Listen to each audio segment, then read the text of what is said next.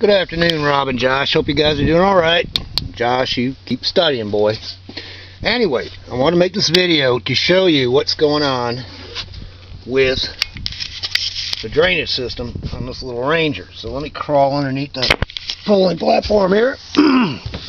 okay. This right there, your cockpit drain, is where the water is ingressing, where it's coming in. If we look down here, we have this inch and a half hose that is attached only to that drain.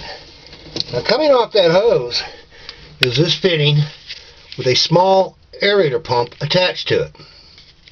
Now further aft, that right there, this little device, looks to be an inline scupper. And then of course back here to your through hull, and that has a flapper on it as well.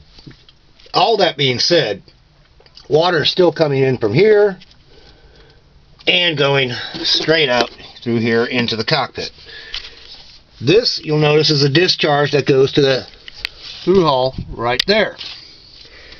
That pump is operated by, just a minute, oh, I love pulling platforms, they're so much fun.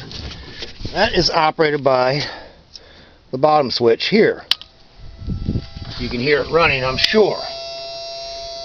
Oops, sorry about that. So in theory, if water theoretically enters that, that pump is supposed to pump it out through that discharge. But that means that you have to have this switch on almost continuously. So, what we're going to do, I don't really feel that this pump works simply because it has to be manually operated. It's it's doing its best to suck out through that T fitting, but I don't really, I've never seen something like this before, to be honest with you.